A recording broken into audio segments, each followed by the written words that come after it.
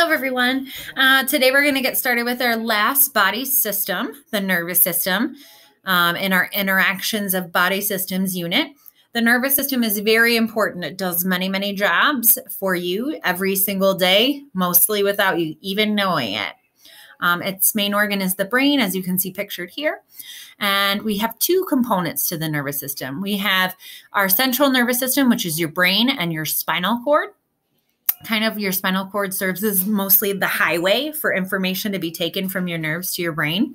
Um, and then you also have all of these nerves attached to your spinal cord, which tell you, uh, you know, what's going on uh, via your five senses touch, sight, taste, smell, and hearing.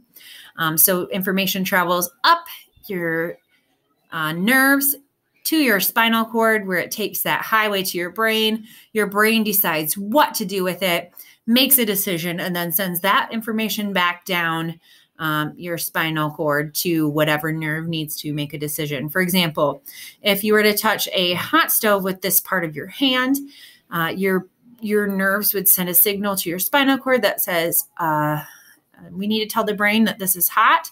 The brain would then decide, yes, this is hot. That's dangerous. We need to pull that arm away the signal would be sent back down to the arm to pull the arm away via this big highway called the spinal cord.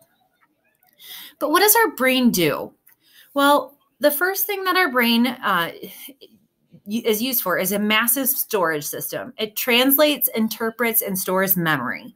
Um, it makes connections and filters out information. Sensory receptors respond to stimuli by sending messages to the brain for immediate behavioral response or storage as a memory. So you can either store something as a memory or respond to it.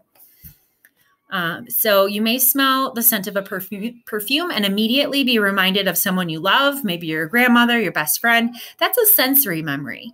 You may feel really hot and sweaty on a summer day and think about how you lost your important baseball game one day on a hot and sweaty day in August. That's a sensory memory, a feeling attached to, like a, a physical feeling attached to a memory we compare your brain to a computer.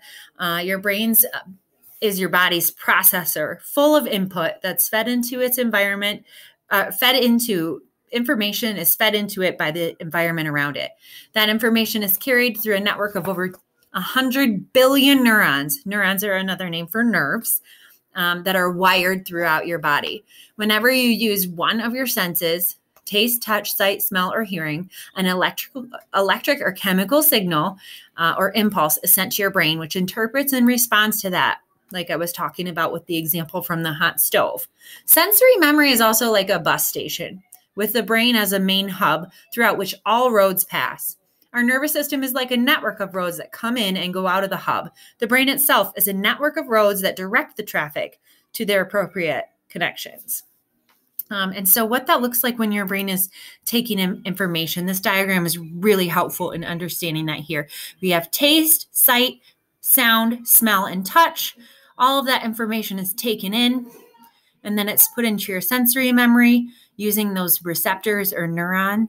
If it's not transferred into your sensory memory, it is forgotten. And, and that's why that arrow is pointing out.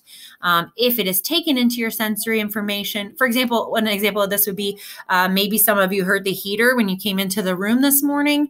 Uh, your brain would take that information in, deem it unimportant, and then and then filter it out. Um, but if you uh, walked into the room and maybe you saw a fire, your brain would take that information and say, Yeah, that's really important. I need to do something with it. And then it would send it to your brain for processing. Um, and maybe your brain would decide to tell your arm to pull the fire alarm. So your your brain would need to process that important information. Um, so you have uh, receptors all over your body, all over your body. Some of them are called ventricular receptors. They regulate your heartbeat. You have oral receptors in your mouth that help you enjoy the taste of things, maybe your favorite food. Um, and they also influence your speech,